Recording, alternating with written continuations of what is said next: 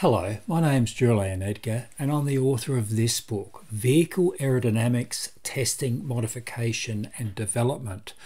What I want to cover in today's video is five mistakes, really common mistakes that people make about car aerodynamics.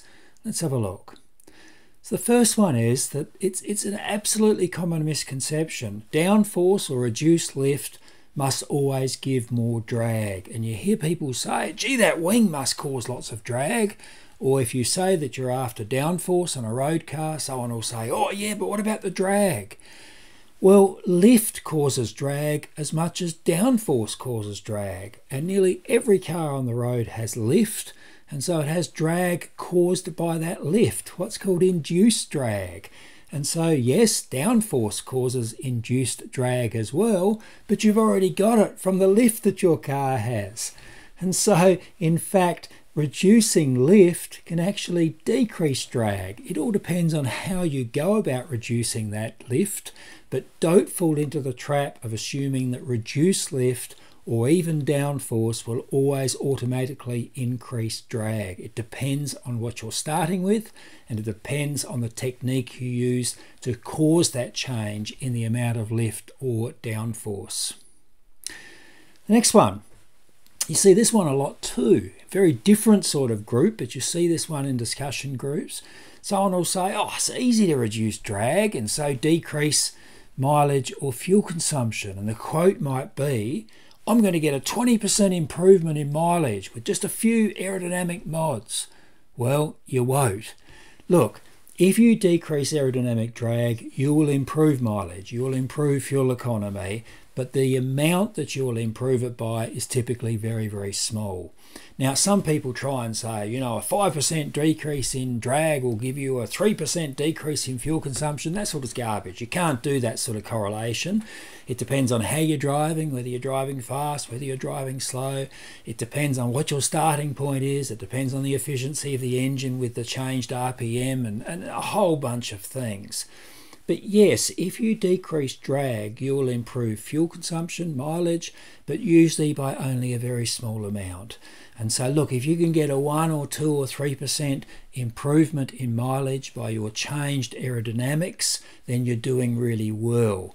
Now, there are exceptions to that. Pickup trucks, where you put a sloping topper on the back, a sloping canopy, which changes dramatically the aerodynamic drag of the vehicle. You can do better than that. But on a typical car, yes, you will improve mileage, improve fuel consumption, but only by very small amounts when you change drag. That's just the reality of the physics. Lift doesn't matter on a road car. You hear people say, who cares about lift? You're not going anywhere at 200 miles an hour. But lift can be felt on a road car, and the best dramatic example of that is when you take a road car that's got lift and you make modifications that then give it downforce. And you can feel that change. You can feel that change upwards from about 50 miles an hour, 80 kilometers an hour. At 100 kilometers an hour, 60 miles an hour, it is damned obvious.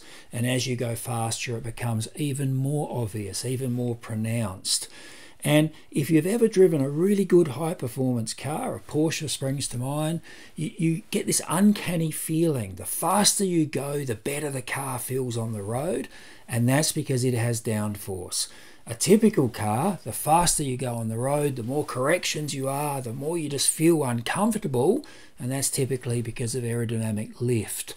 And so lift certainly matters on road cars, but obviously the faster you go, the more it matters. But don't fall into the trap of assuming it doesn't matter at normal highway speeds. It does matter. Here's one I saw just the other day from uh, a person who was ostensibly an expert in aerodynamics, car aerodynamics, and uh, he went along with the line spoilers always cause drag and he, he used this uh, example. He said a spoiler deflects the airflow and that takes energy to cause that deflection. That energy is is uh, apparent in increased drag. Well yes and no some spoilers work in that way. Change the airflow direction and no doubt increase drag but other spoilers that change airflow direction can decrease drag It depends on what the, the uh, spoiler is doing, uh, how it is actually set up and designed, and whether it's designed to, for example, increase pressures in front of it, which would reduce lift, or whether it's designed to reduce a suction peak where the air wraps around uh, a corner at the end of the car. Uh, they're two different things. They're both called spoilers, but one will decrease drag, one will increase drag. So spoilers always cause drag is simply wrong. Any of the technical literature will show that. And here's the last one. Wings and splitters are best for downforce. Uh, someone might say, look, I'm an amateur racer who wants better downforce on my car. So of course I'm starting with a front splitter and a wing. I wouldn't. I would start under the car. Under the car, when you change your aerodynamic flows, you have a very big surface area, square yards, square meters of area and if you can decrease the pressure under the car, because of that big area, you will pull the car downwards very, very effectively. Even formula cars, when you look at the contribution of the underbody versus the front and rear wings, the underbody creates more downforce. You have such a big area to play with, and on a road car or a race car, if you're doing it yourself, because it's invisible, it doesn't matter about aesthetics, because it's invisible, you can do it all yourself. You can do it all yourself very, very easily by making under trays, optimizing a diffuser, and so on. A proper undercar aerodynamic package, not just a tacked on little diffuser on the end from eBay. And I mention that because some people go off and think, oh yeah, the eBay $10 diffuser, that'll give my car downforce. No, I'm not talking about that. I'm talking about a proper undercar development. That's where I would start. It also has the huge benefit that most of the downforce is between the axle lines. A wing develops downforce behind the back axle line, which therefore creates front lift, just like a seesaw. A front splitter develops downforce in front of the front axle line, which causes rear lift, just the seesaw working in the other direction. So you've always got to juggle. You know, if you're getting more effective wing or more effective front splitter, you're actually making it less effective at the other end of the car. Working under the car is typically largely between the axle lines, and that doesn't upset the other end. It just pulls the car downwards. So there are five common misconceptions.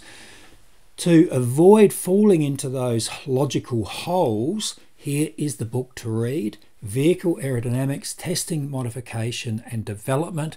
It covers how to get downforce, it covers how to reduce drag, and it uses tested, accredited, um, officially authorized, if you like, uh, techniques endorsed by experts based on real research, not just rules of thumb, not just copying others, not just misconceptions like were covered in this video. Thank you.